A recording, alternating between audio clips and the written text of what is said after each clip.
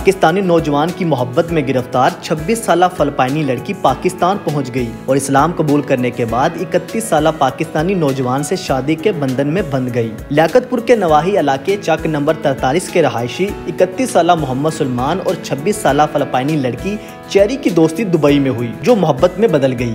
दोनों शेफ हैं और दुबई के एक रेस्टोरेंट में काम करते थे। सलमान वतन वापस आ गया तो लड़की भी पीछे पीछे पाकिस्तान पहुँच गई।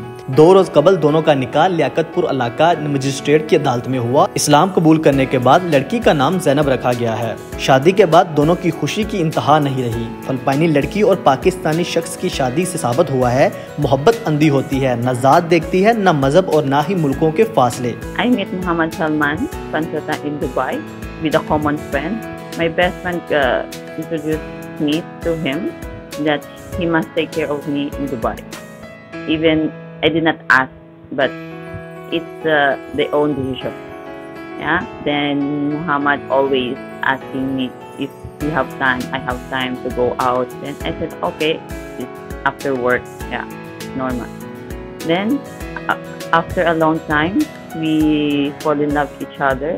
Then we agreed that uh, we need to get engaged and we're gonna get married here in Pakistan to have a legally couple. And from the start, their family, his family is very supporting and thank, and I'm very thankful as well because they support us all the way our relationship and so blessed as well that they are very good, kind, generous, loving, and caring to us.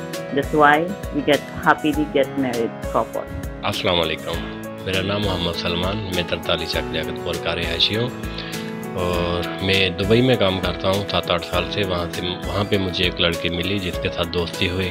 दोस्ती के साथ relation हुआ। Relation के जगह हम लोग घर में आ गए। घर में आके हम लोगों ने घर वालों की रजामंदी से मुसलमान लड़की को करके कोर्ट में शादी की।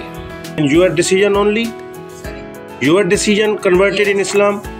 No anyone force no. for Islam? no. Say, La ashhadu an la ilaha. la Ashhadu Allah ilaha. Ilaha. illa allah Wa ashhadu wa ashhadu Anna. Muhammadan. Abduhu. wa rasuluhu sallallahu sallallahu ta'ala ta'ala alayhi alayhi वसल्लम।